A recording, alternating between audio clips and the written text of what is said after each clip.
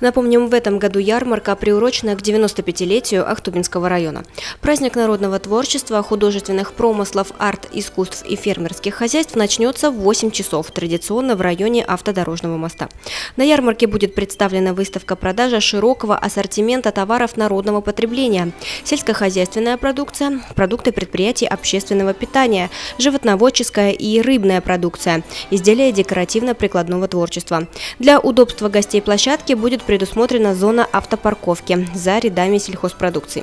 С 10 часов начнется творческая программа мероприятия. Помимо патриотического концерта «Мы вместе, мы Россия», гости праздника смогут увидеть экспозиционные выставки «История сел Ахтубинского района» и «История соли промысла», «Карусель дружбы народы, населяющие Ахтубинский район», приобрести изделия на выставке продажи ремесленников и принять участие на площадке Всероссийского физкультурного спортивного комплекса ГТО.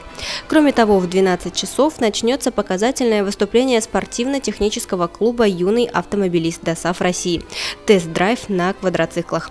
По словам организаторов, ярмарка продлится до 13 часов.